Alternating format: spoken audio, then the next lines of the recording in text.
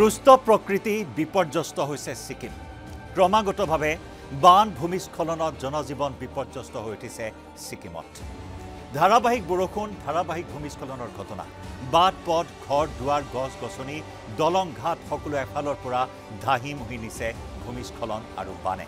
উফন্দি উঠিছে তিষ্টা উফন্দি উঠা তিষ্টাই এতিয়া ধ্বংসলীলা চলাইছে ছিকিমত। ভয়ংকৰ দুৰ্যোগৰ সন্মুখীন হৈছে ছিকিম। উফন্দি উঠা নৈয়ে নমাইছে বিভীষিকা। ঢলে উটুৱাই নিছে বাট পথ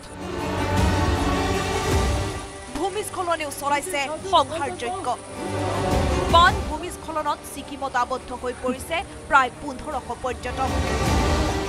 ছিকিমত বিগত দুদিন ধৰি চলিছে অবিৰত বৰষুণ।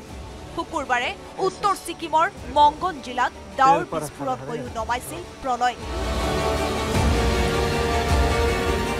এই পৰ্যন্ত ছিকিমত ছজন লোকৰ মৃত্যু হৈছে। পাঁচজন লোক এতিয়াও সন্ধানহীন হৈ আছে উত্তৰ ছিকিমত। ভূমিস্খলনৰ ফলত বাট পথ যোগাযোগ বন্ধ হৈ পৰিছে এক প্ৰকাৰ। বিদ্যুতৰ খুঁটা পৰ্যন্ত উটুৱাই দিছে তিষ্টা নদীৰ বাঢ়নি পানীয়ে। বহু লোক গৃহহীন হৈ পৰিছে ভূমিস্খলন আৰু বান পৰিস্থিতিৰ ফলত। দক্ষিণ ছিকিমৰ মেল্লি ষ্টেডিয়ামত তিষ্টা নদীৰ বাঢ়নি পানী সোমোৱাৰ ফলত বিস্তৰ ক্ষতিসাধন হৈছে ষ্টেডিয়ামখনৰ।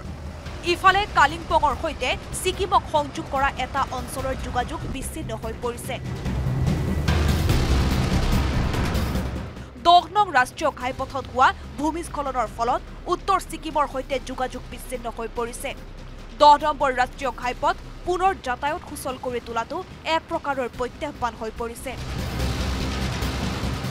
চাংকালাঙত নতুনকৈ নিৰ্মাণ কৰা এখন বেইলি দলং ভাঙি পৰাত মাংগানৰ সৈতে ডংগু আৰু চুংথাঙৰ মাজত সংযোগ বিচ্ছিন্ন হৈ পৰিছে। নেৰানেপেৰা বৰষুণৰ ফলত ছিকিমৰ তিষ্টা নদী উফন্দি উঠিছে। গুৰুডংমাৰ হ্ৰদ আৰু য়ুনথাং উপত্যকাৰ দৰে জনপ্ৰিয় পৰ্যটনস্থলীসমূহৰ সৈতে বিচ্ছিন্ন হৈছে যোগাযোগ। উল্লেখ্য যে কালিম্পং জিলাৰ বহু ঠাই বানৰ কবলত পৰিছে। তিষ্টা বাজাৰ এলেকাৰ দেওগ্ৰামতো বাঢ়িছে বাঢ়নি পানী। দহ নম্বৰ ৰাষ্ট্ৰীয় ঘাইপথত ভয়ংকৰ ভূমিস্খলনৰ ঘটনাত উত্তৰ ছিকিমৰ সৈতেও যোগাযোগ এই মুহূৰ্তত সম্পূৰ্ণৰূপে ব্যাহত হৈ পৰিছে। আৰু এই সময়ছোৱাত ছিকিমত প্ৰায় পোন্ধৰশৰো অধিক পৰ্যটক আবদ্ধ হৈ আছে।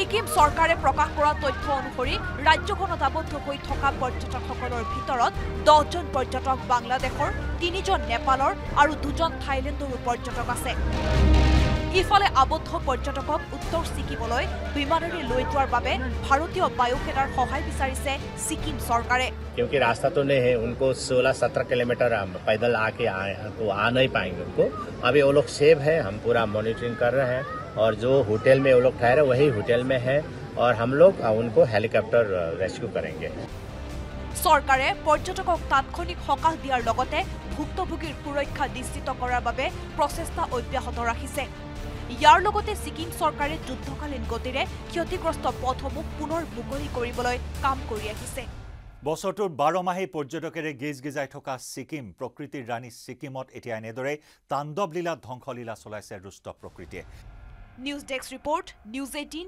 Assam north east